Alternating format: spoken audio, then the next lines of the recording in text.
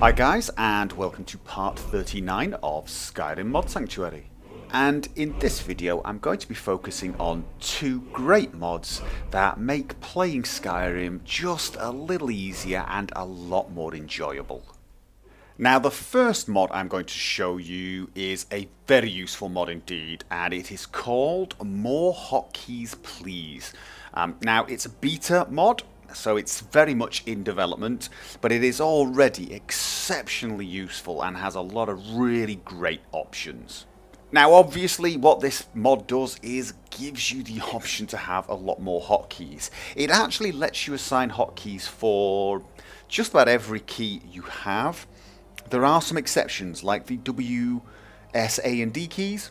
They are prohibited.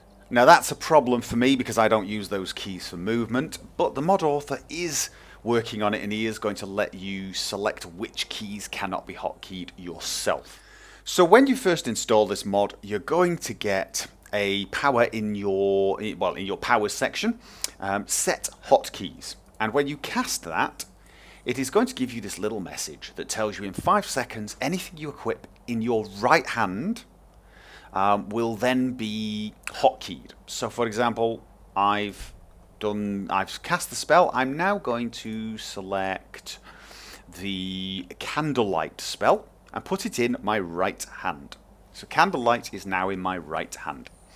And in a few seconds, I get this message. Now, this first of all allows you to do basic hotkeys. So for example, let's start with that. We'll hit the basic and I'm going to say I want this in both hands. So as you can see, it can select which hand gets the spell, even though it had to start in my right hand.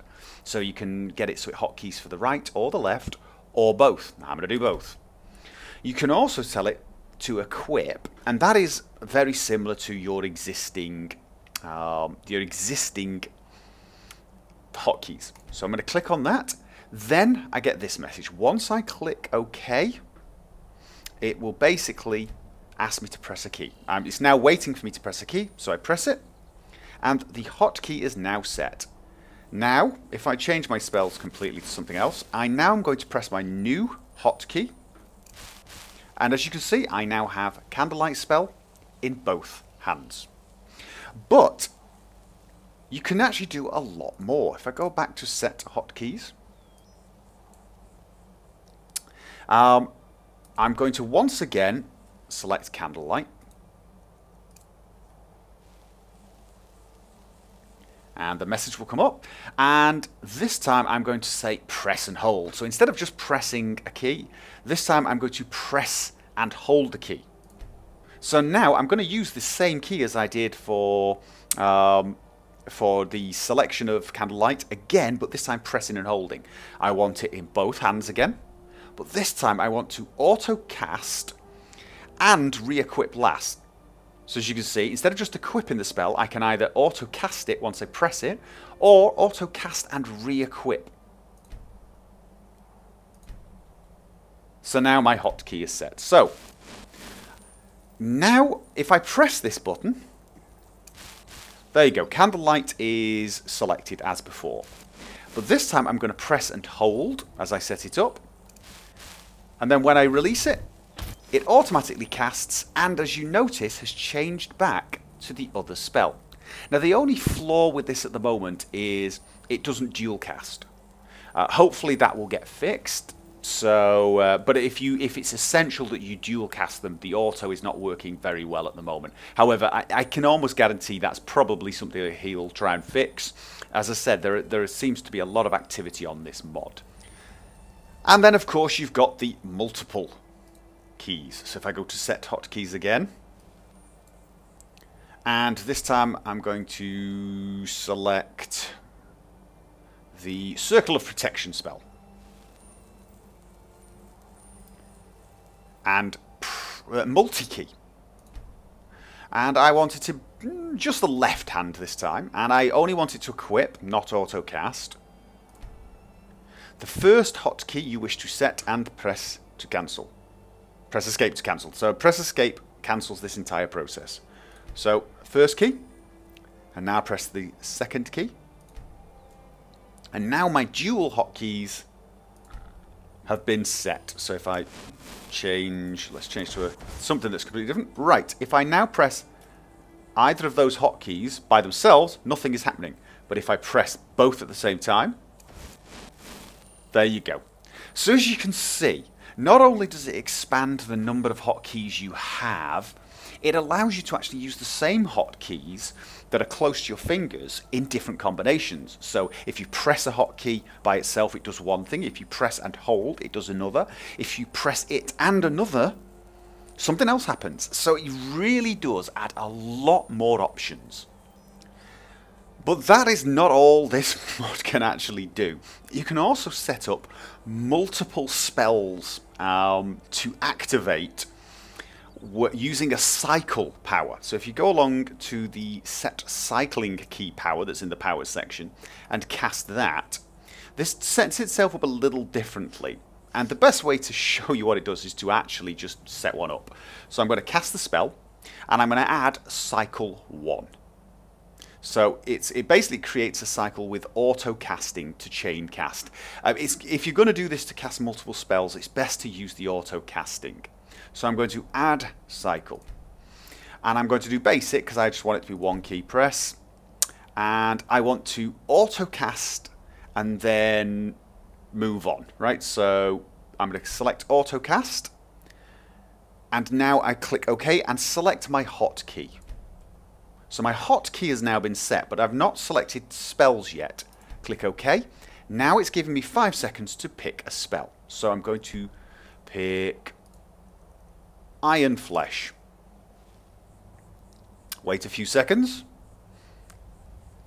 And now I'm going to equip it in my left. Because I'm auto casting at the moment, dual casting isn't working. I'm just going to stick to left hand.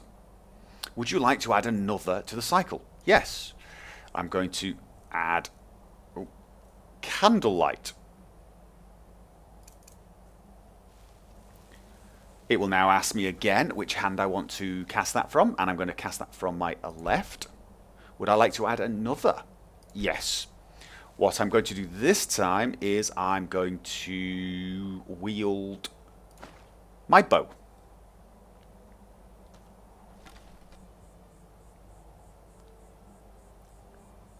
And do I want to add another item? No. So I've now finished.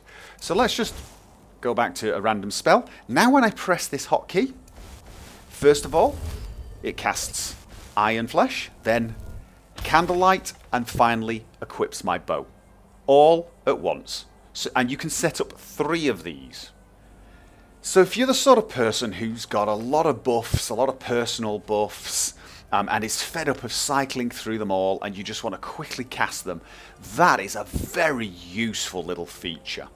Now, there are some things it can't do at the moment. As I said, dual casting seems to be one of them. Um, it doesn't seem to be able to hotkey your shouts and powers, uh, which is, you know, a little unfortunate. However, I think he is working on that. So, basically, this is one of these mods that I think is going to become utterly essential for most people, especially if you have a, a caster type character, because casters end up using a lot of different spells. But all round, this mod, absolutely great idea, really well done, a lot of really useful features. I mean, the cycle feature for me is going to become one of the great features for that mod.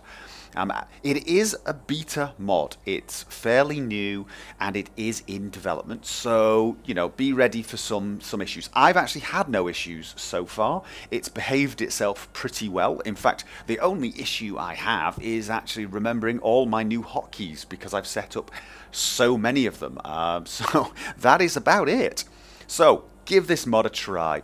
It really is well worth it. Okay, now you're seeing a black screen because there is a spoiler alert. If you have not finished Dawnguard yet and you do not wish a spoiler, do not watch the next part. Click the link in the top. I believe it will be the right hand corner saying skip to next mod.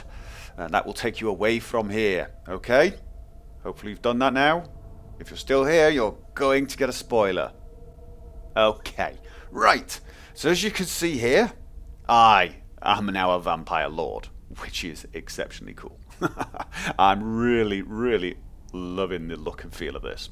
However, one thing I hate is that I cannot loot as a vampire lord, much like the werewolf. However, there is a mod that allows you to do that.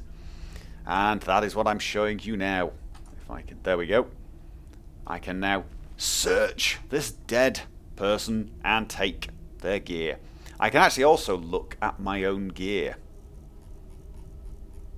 There is... I can't actually wear it, I don't believe. Actually, I can. Uh, however, it doesn't actually make any difference in this form. As you can see. So if I go back to it again.